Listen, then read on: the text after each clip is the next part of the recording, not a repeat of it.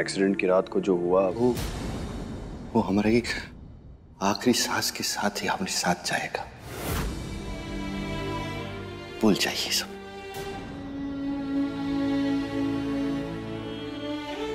कुंवर साहब, आज आपके सामने आपके रामू काका नहीं, बिटिया का बाप आपसे मिलने आया है। कहा है। कि बार बिटिया जो है वो का सिर्फ़ नाम रानी ना है। वो का मन वो की सोच वो की इच्छा शक्ति वो एकदम एकदम एक नंबर है। माफ़ कीजिएगा, थोड़े भावुक हो रहे हैं। वो का है, इतने समय के बाद आपको देखा। और अब तो रिश्ता भी बदल गया है। तो थोड़े, थोड़ी जबान लड़खड़ा रही है हमारी।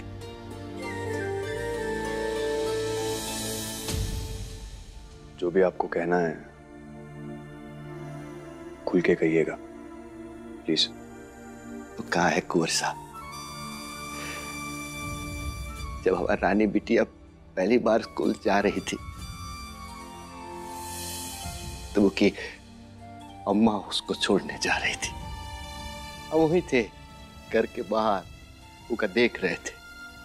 पर हमारी रानी बिटिया की नज़र हम पर थी। फिर आगे चलते चलते एक मोड़ आया। हम वहीं खड़े थे। और हमारी बिटिया आगे बढ़ रही थी। जैसे ही वो मोड़ आया, हम पर से नज़र हटी और उसका रोना शुरू हो गया।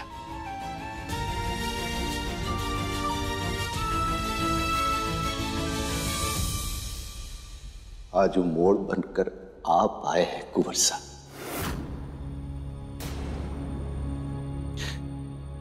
और अब हमारी रानी बिटिया की नज़र हमसे हट चली है।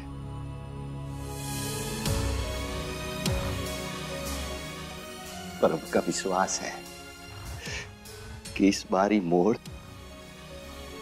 हमारे पिटिया के आँखों में आँसू तक न आने देगा।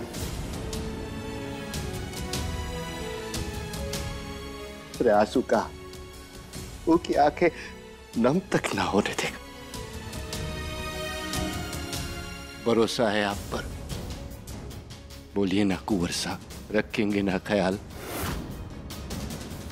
बस, एक बेनती है, हमारी बिटिया का ख्याल रखिएगा। कहा है कि हमारी बिटिया बहुत ही बोली है। कहा है कि दुनिया का जो दूसर है ना, वो की मासूमियत को छीन ना पाया है अब तक।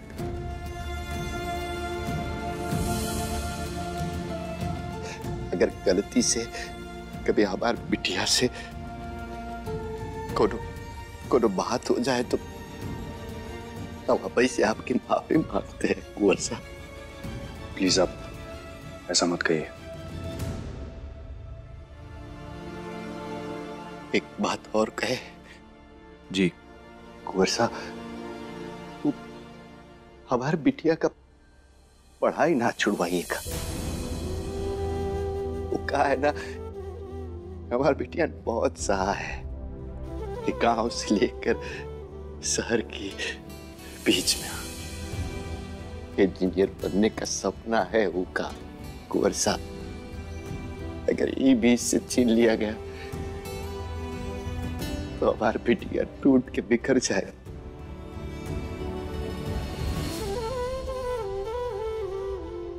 ऐसा नहीं होगा। मैं वादा करता हूँ आपसे।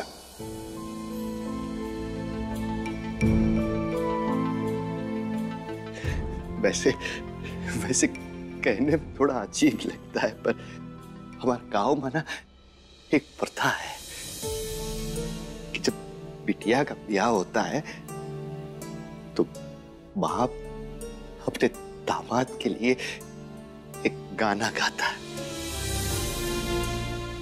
अगर आपकी इजाज़त हो तो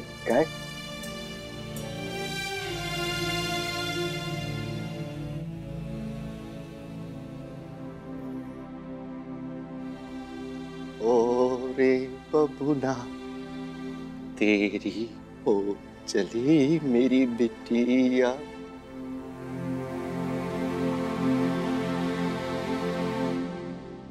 गुजरा कल इस बाप का। अब आज मेरी बिटिया खुश रहे हर हाल जीवन। तू रहे संग साथ जीवन। मुश्किलों में हाथ थामे। रहेगी मेरी बिटिया। ओ रे बबुना तेरी हो गई मेरी बिटिया ओ रे बबुना तेरी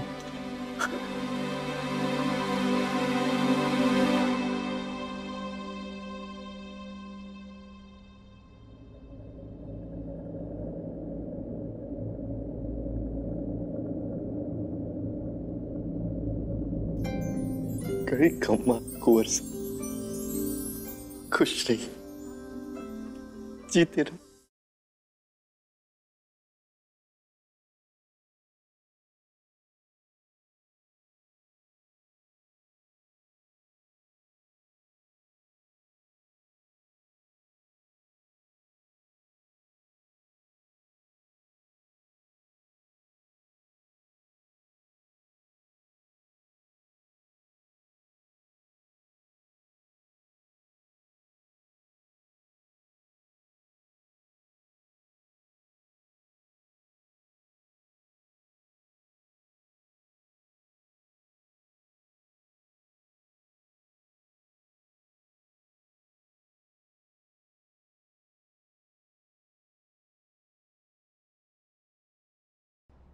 हाय अब नहीं नहीं प्लीज़ उठो मत.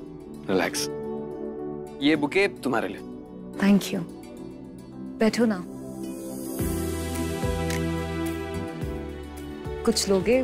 कॉफ़ी जूस नहीं प्लीज़ कोई फॉर्मेलिटी थोड़ी है. मैं सिर्फ़ तुमसे मिलने आया था.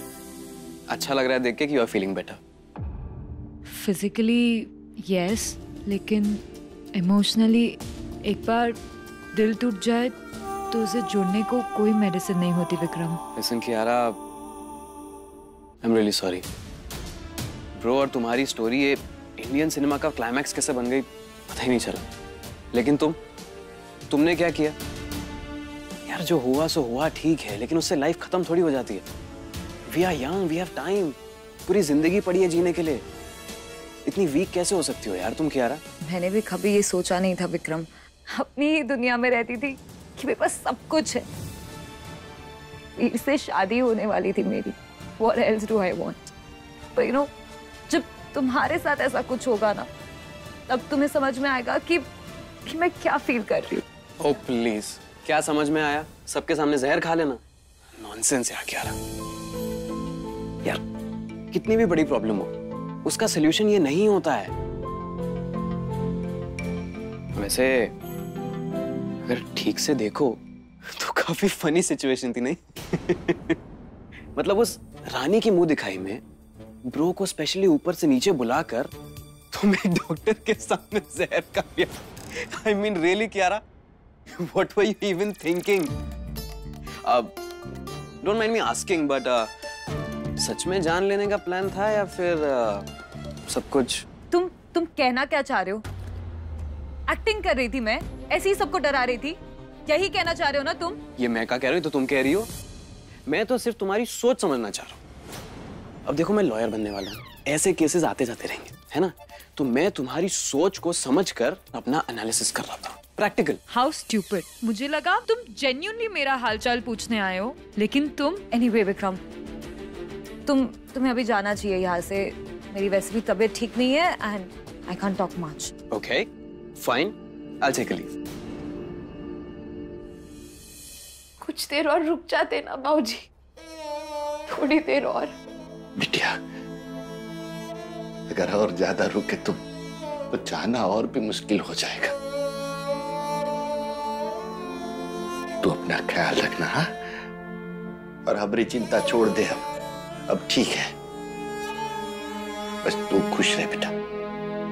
आप कुछ खाए भी ना पानी भी नहीं पिए हैं। हम आपके लिए पानी लेकर आते हैं हाँ? एक मिनट अभी आए। विजय बेटा वो राजमाता ने बोला है कि रामू काका को थोड़ी देर और रुकना होगा। एक रसम अभी बाकी है। काकी ऐसे कैसे? जाना ही पड़ेगा रूल है। हाँ पर राजमाता ने कहा है विजय। ठीक है अब राजमाता ने कहा है तो उनका आदेश कैसे टाल सकते हैं? आप कर लीजिए रस्म।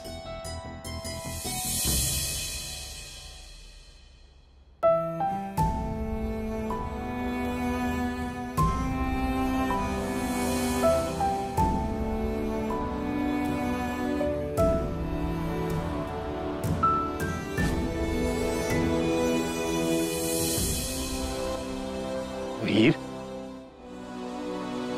पापा आप? कैसे हो? ठीक हूँ पापा ठीक तो नहीं हो। देखो हम जानते हैं कि पिछले दिनों जो कुछ भी हुआ उसके बाद हमने तुमसे ठीक से अकेले में बात नहीं की। लेकिन हम क्या करते? हिम्मत ही नहीं हो रही थी। आप बहुत गुस्सा थे पापा बहुत। इतना कि हम तुम्हारा चेहरा भी नहीं देखना चाहते थे। हमने सोचा था कि अब हम तुमसे कभी बात नहीं करेंगे। बहुत चाह थी इस बाप की कि अपने बेटे की शादी को देखे। लेकिन तुमने हमसे वो हक भी छीन लिया, वीर। लेकिन इतने दिनों तक तुमसे ठीक से बात नहीं की और तुमसे कटे कटे रहे तो हमने सोचा कि अगर उस दिन तुम्हें कुछ हो जाता तो हम अपनी पूरी ज़िंदगी तुम्हारे बगैर कैसे बिताते। खाली इसी बात से हम बहुत डर गए थे बेटा, कि तुम ऐसे हालात में आ गए जिसमें तुम्हें कोई मारने के लिए उतारू था। हम बहुत डर गए थे बेटा। लेकिन तुमने जो किया, रानी की जान बचाई, वो कोई छोटी बात नहीं है। बहुत बड़ा दिल चाहिए उसके लिए। तुम सचमुच एक बहुत ही कमाल के बच्चे हो और हम बहुत ही किस्मत वाले बाप हैं। सबका दिल तोड़ दिया पापा मैंने। राजमाता का, रानी सा का, नंदिनी, विक्रम, आपका। नहीं नहीं नहीं बेटे, तुमने हमारा दिल तोड़ा नहीं है, बल्कि फक्र से हमारा सीना चौड़ा कर दिया है। I am so proud of you my son हम तुमसे बहुत प्यार करते हैं बेटा। तुम्हारे पापा का ये प्यार ज़िंदगी भर तुम्हारे साथ रहेगा। इसलिए कभी ये मत सोचना कि तुम अकेले हो।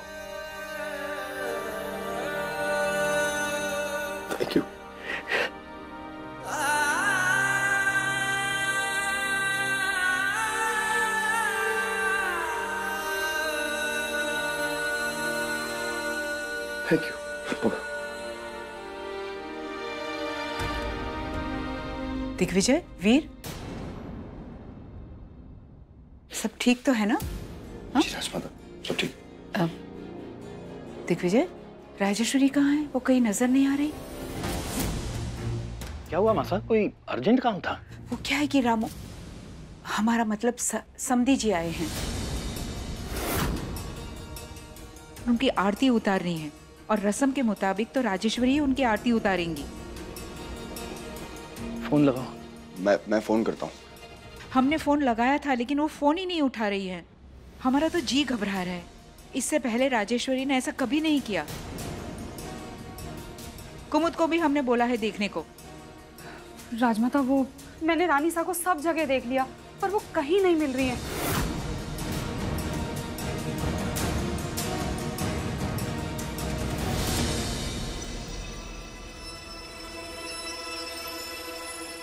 क्या हुआ?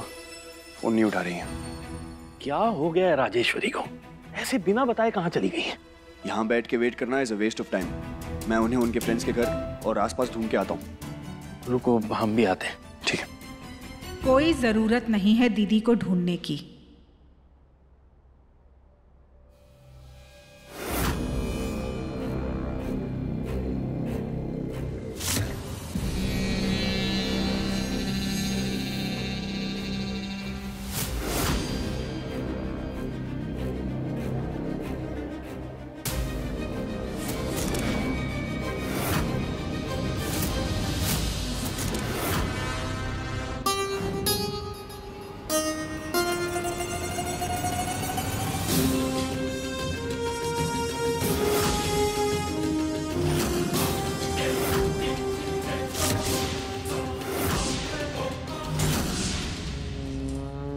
मासी सा आप खमगणी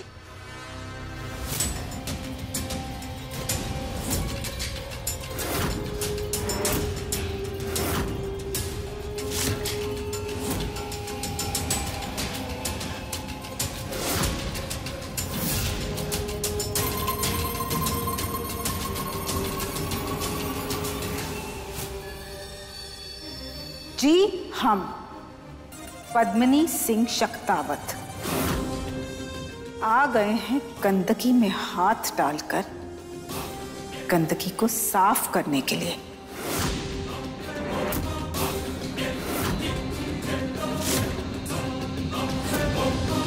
दीदी ने कभी आपको अपना बेटा नहीं माना। माँ कहने का हक नहीं दिया आपको। लेकिन वीर हमने हमेशा आपको मासी वाली फीलिंग दी है। हमेशा मासी होने का कर्तव्य निभाया है। लेकिन आज एक बार फिर आपने हमारे दीदी के दिल को चोट पहुंचाई है। और अपनी इस पद्मिनी मासी से भी बहुत दूर हो गए हैं आप। पद्मिनी आप यहाँ अचानक? खमा गनी जी जैसा। घनी खम्बा राजमाता खमा गनी घणी खम्मा पद्मिनी।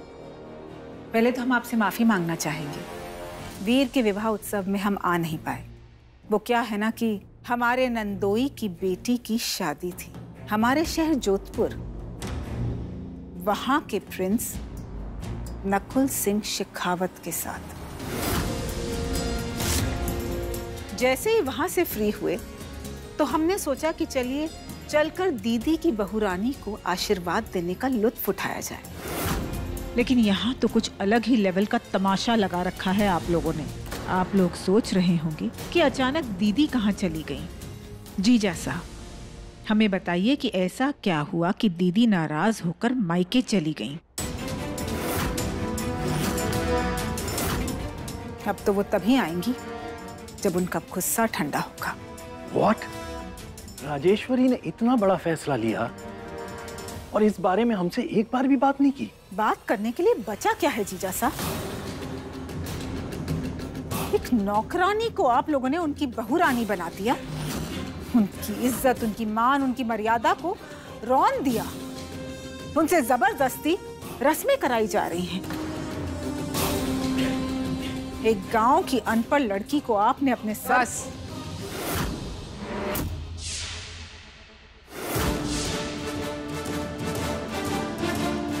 बस, पद्मिनी बस।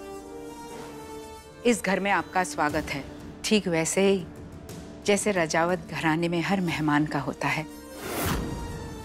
मगर भूलिए मत, मेहमान का। ये आपकी बहन का ससुराल है, और इस घर में क्या होता है, क्यों होता है, इससे आपका कोई ताल्लुक नहीं है। आप समझ रही है ना हमारी बात? राजमाता, हमारा वो मतलब बिल्कुल नहीं था। अगर आपको जरा भी बुरा लगा हो तो हम दिल से माफ़ी चाहते हैं। लेकिन गलती सिर्फ़ वीर या उस लड़की की ही नहीं है, गलती हमारी दीदी की भी है। इतनी इन नौकरों को छूट जो दे रखी है। ये नौकर जात जो होती है ना, ये डराने धमकाने से नहीं समझती। इन्हें दर्द देना पड़ता है। इसलिए तो हम आए हैं यहाँ पर। अब आप सब हम पर छोड़ दीजिए। दीदी की जगह अब हम उनके नए संधि का स्वागत करेंगे। हम आते हैं। रुकिए। मेरा मतलब आप नीचे जा रहे हैं? कुमुद वो समधी हैं इस घर के। तो हम खुद स्वागत करेंगे उनका। रानी साहब नीचे नहीं जाती हैं। उनके अपने नियम है, इसीलिए बस। नियम? यही तो कमी है दीदी में। ऐसे समय में घर को नियम से नहीं, दिल से चलाना चाहिए। है ना राजमाता? अब अगर घर के समधी की जगह नीचे है तो हम उनका स्वागत नीचे जाकर करेंगे।